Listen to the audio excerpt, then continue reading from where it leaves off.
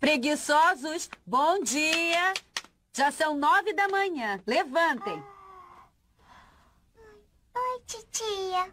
Olá, meu amor. O que, que eu tô fazendo aqui? Eu não dormi lá no... O papai me perdoou. Sim, meu amor.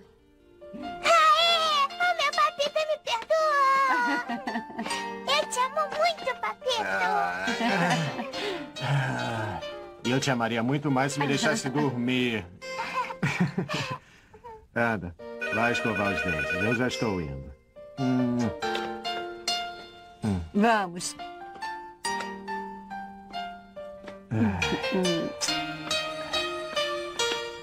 hoje vamos tomar café fora. Tudo bem.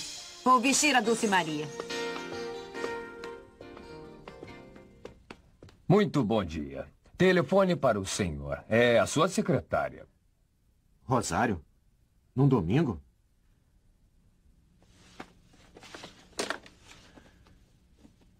Bom dia, Rosário.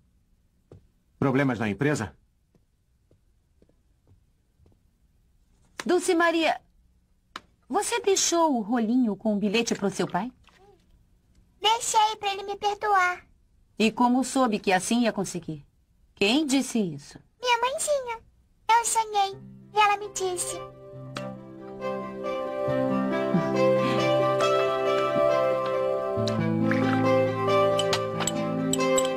Pronto.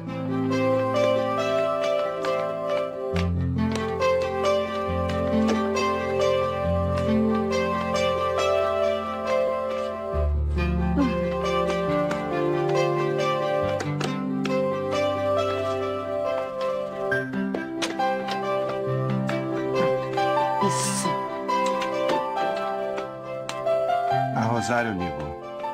Vocês nem imaginam pra quê. Não. Pra pedir demissão. Por quê? Ela vai casar.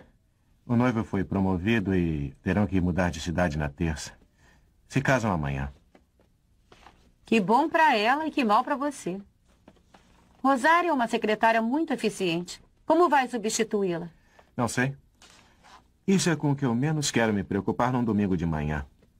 Ô, Papito, por que, que você não fala com a irmã Cecília? Porque, por casualidade, a sua querida irmã Cecília é professora religiosa e não secretária. Baixinha, as gêmeas estão chamando você.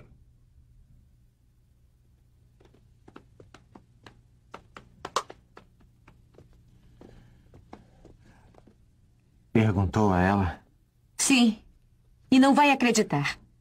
Me disse que escreveu o bilhete porque sua mãezinha a aconselhou num sonho. Dentro da sua filha está acontecendo uma coisa parecida com um milagre. Que até me dá um pouco de medo. A mim não. É uma emoção estranha, mas no fim das contas me encanta.